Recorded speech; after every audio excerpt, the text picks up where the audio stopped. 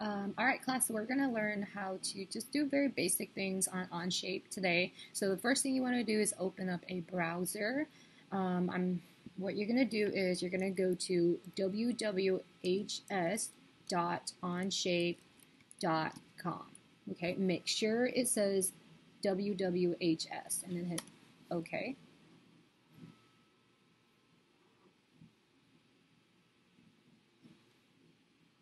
Give it a second.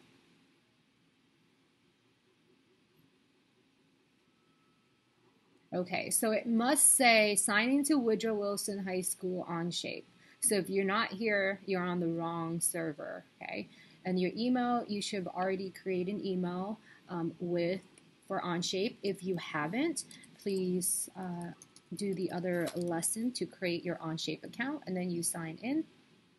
Oops, let's try that again. All right, so now I'm in. So when you first open up your Onshape, you're going to see all the activities that I have created or your classmates and everybody else. So this is the activity um, information here. Uh, the What you want to do next is go over to Documents.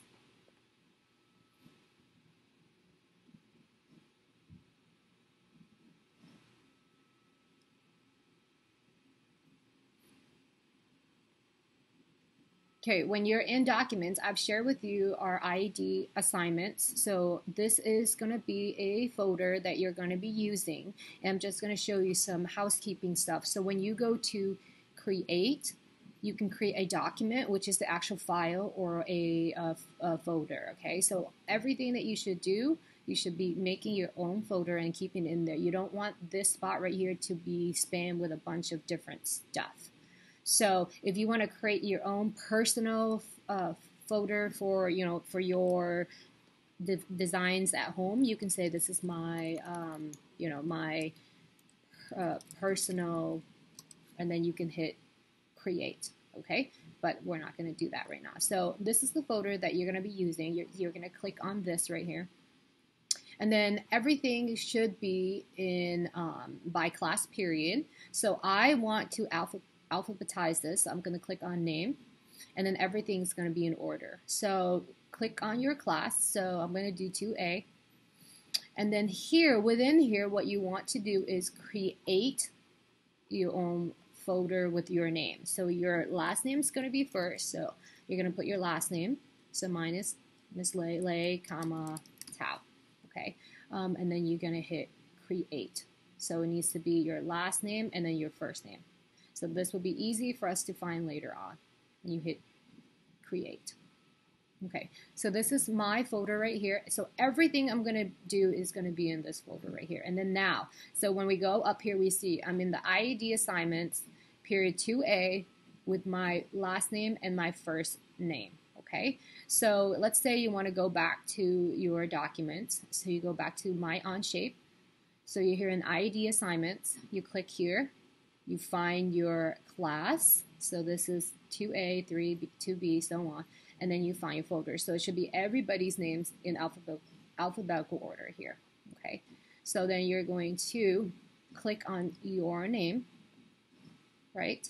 And then now you can start doing your assignment. So for this assignment, when you want to name your assignment, you want to name it by assignment name, your last name, and then um, the title that will help you to remember what the assignment is because the names might not be helpful later on. So we're going to create a document. Okay, we don't want to create another folder. It's going to be harder. We're going to create a document. So your document name should always be the assignment number. So in this assignment, 1.02. And then you're going to put uh, period, your last name. So my last name is Le.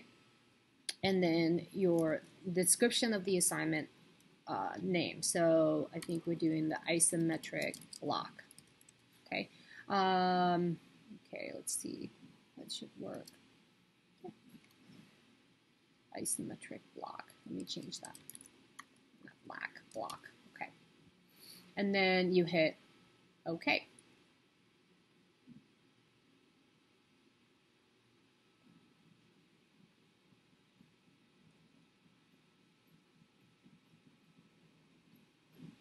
So then it's going to be loading your workspace. So this is your workspace. This is where all of the creativity, everything that you're going to be doing in this, and you don't have to share it with me because I can easily manage it and see it. Um, so whenever there's an assignment, I can go into 1.2 your name and then whatever it is that you have, and then you're going to hit, um, and then you're going to do that. So we're going to go back, okay, just so you can see it. We're going to go back to our um, Onshape here, just to show you again. So whenever you want to go back, click on the word Onshape and then you want to go to my Onshape. Okay, here's your Onshape. And then when you see here, this is the folder that you have, and then whatever is last opened by you. So I'm going to click on my IED assignments, my class, my name, and then this is my first assignment, 1.20 your last name, and then the title of your project or whatever it is that you're going to be working on. Okay, and then if you can see up here, you can always go back. So if I want to go back to your period, you can click 2A. If you want to go back to IED assignments, you click on IED assignments, and if you want to go back to your Onshape, you can click Onshape. So after you do that, so let's say you open up your document, I think you can just click. You can see over here who who it was created by. So the owner will be Woodrow Wilson High School. Location created by, so I can see if you've created it or not. Um, last modify, who modify it last. Okay. So if you, um, so it'll be easy for me to see if you did it or not. So if you click on that, so I think I can just open this. So if you double click on it, it's going to open up the document that you're going to be working on. Okay. So everything is in uh, 3D view. So some features I really want to focus, if you right click, okay, if you right click and you hold it down, it's going to move it around. If you press the shift, uh, yeah, if you press the shift, in, or in the Apple, I believe if you press, uh, no, sorry, control, if you hit control and, um, do that, if you hit control, you can move it around. Okay, you can move it left and right. So hit the control button and then the left click, that would take you uh, left and right. So if you hold down the right click, you can rotate it. Okay. If you um, hit control and the right click, you can move it left and right. This is really important for you to be able to move around without doing too much. If you want to zoom in, you can scroll up, down, and then you can zoom in. Okay, so one more time to move it around, I'm going to right hold down my right click and then move it around. If you're in the laptop, you hold down the right click and then you move your your um, your mouse track around or your trackpad pad around. And then I want to move it up and down, so I'm going to hold down on my uh, Control CTRL and then right uh, left click and that'll move it around. And if I want to zoom in, I just um, use my scroll button. So it's really important to have a mouse. Okay, you can also do it up here as well, but it's going to be, you know, a little bit harder for you to, uh, to work with. You can do the arrows um, left and right, and then you can move it this way and that way, okay? So as you can see, it looks kind of funky right now, so what I want to do is put it back in the isometric view. So if you click on this little block right here, you can go to isometric, and it goes back to what it is originally, okay? So I can move it around, rotate it. I can move it up and down. And then I can zoom in and out. And then if this is something I don't like, I'm going to go to isometric, 3D view, the right, the, uh, the right view, the top view looking down, and the front view looking right straight at it. So whenever you are working on Onshape, you can decide which view you want to look at. You can be at the right view, the top view. Okay, if you highlight over it, the right view, the top view, or the front view. If you highlight on it, you can see which view you're going to be working on. I like working it from the top view, looking down at an object, um, but it's going to be preference here. So let's do top view. So I click on my top view, plane. Going to be going. Actually, I'm going to click here in the top view. Okay, and now it should say top view. And then if you want to go back to your isometric, Let's say you didn't like that view and you want to go in the front view. Okay, front view will be here. You'll see that. And then click out of the workspace to see the, um, the front view. If you want to go to go back to isometric, the right view, okay, um, isometric, okay. So I'm actually going to move this over a little bit. Okay, so we're going to go, I'm, I like working the top view, so I'm going to work from the top view.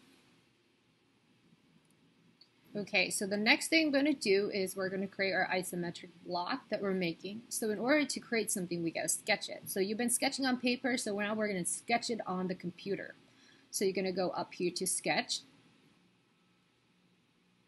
Okay, and it says select a sketch plane. So the sketch plane that we're creating is the top. So you want to hover over the top, and we're doing the top plane.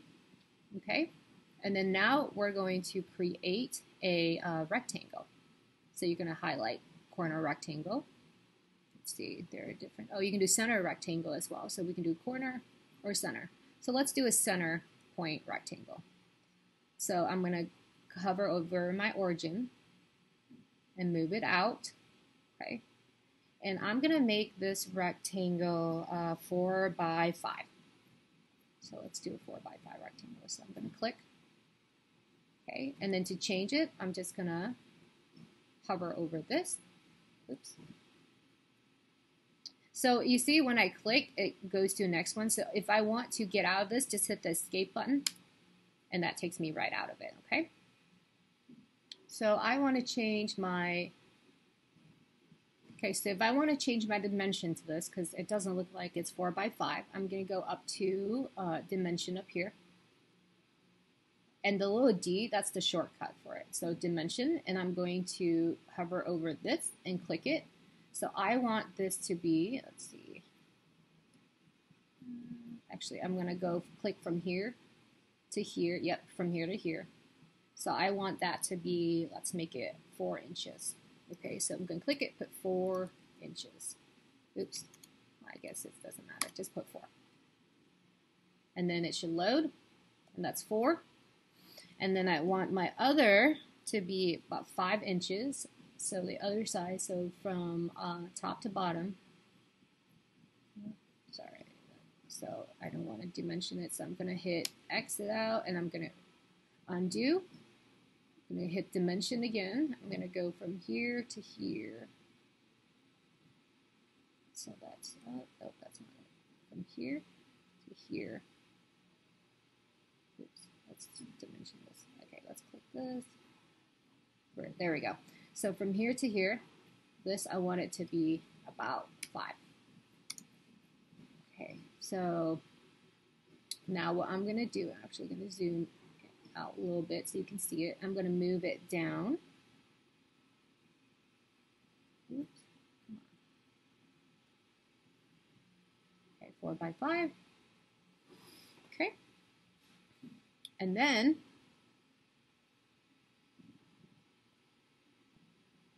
Okay, as you can see that everything is in black. So it went from blue to black. Black meaning that everything is dimension. Everything has a dimension on it.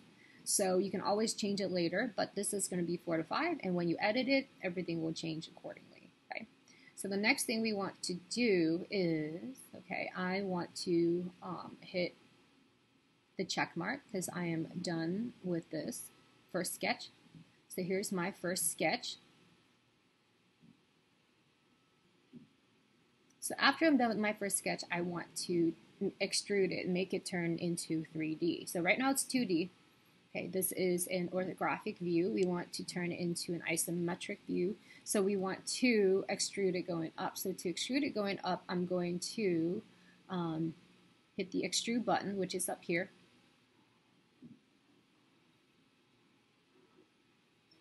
Okay, and it says what do you want to extrude? So faces are sketch region to extrude. So I'm going to click this here. And it asks, well, what's the depth? So how uh, high do you want it? Well, let's just keep it at one inch and then hit the check mark. Okay, so remember everything you see right now is in 2D view. So if you want to see your isometric view, you click up and then here is your block, okay, that you have uh, created. So if I want to see it from my top view again, I'm going to click top view and then it's in 2D. But if I click on my isometric, I'm going to see it as uh, three dimension. All right, so now what we're going to do is we're going to go back to our top view. And I'm going to create another sketch on top of this plane right here, this new plane that I have. So I have one sketch, one extrude. I'm going to create another sketch. So I'm going to go sketch, my second plane. So this is where my second plane is going to be. It's going to be right on top of the first plane, on top of my first um, rectangular box. I'm going to click on that. And it says the face of extrude 1. Okay, all the faces, and then I'm gonna hit, and then I'm gonna sketch another uh, rectangle on that. Okay, so I'm gonna create another rectangle on that. Um, let's try to do, um, let's see. Actually, I'm gonna do a line. Let's see, a line would be better. I'm gonna go, because I want mine to be, so I'm gonna go line from here to here. Let's see, line from here to here. Yep, there you go. So let's say um, I'm going to put a line here. Okay, so there's my line. And then see how it continues like that. So if I want to get rid of that line, I'm going to hit escape. Okay, so then I have this box right here that I'm going to create, but I want this to be um, from here to here to be a certain distance. So let's say I want it to be um, three inches. So I'm going to dimension it. Let's see. No, that's still 4. Okay, that's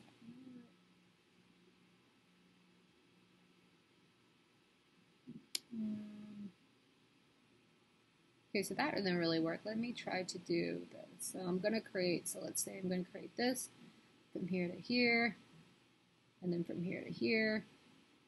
And I use the line function from here to here, and from here to here. Okay, let's see. Okay, so as you can see, everything is in uh, blue, and I'm going to, I guess that's the same thing. I'm going to dimension it.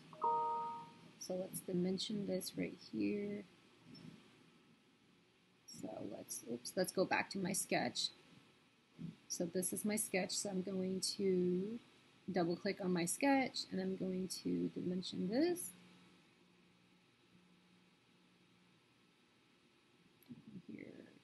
here. Yep, there you go. So I want to go from here to here, and then this is going to have to be, um, let's say I want it to be uh, 3 inches. Oh, so it's pretty good. Okay. So 3 inches, and everything's in black, so everything's dimensioned. So now I want to extrude this going up. So I'm done with my sketch, so I'm going to click the check, and then I'm going to extrude it again. So click the extrude, and the facer region to extrude. So I'm going to extrude this region. So if I highlight over it, you're going to see the yellow lines all the way around. Okay. And I'm going to bring it um, up. See. Let's see how high do I want it to be. So let's say um, uh, four inches. Let's do four inches. Okay. Four inches. And I'm going to hit check. Let's make sure that this is right.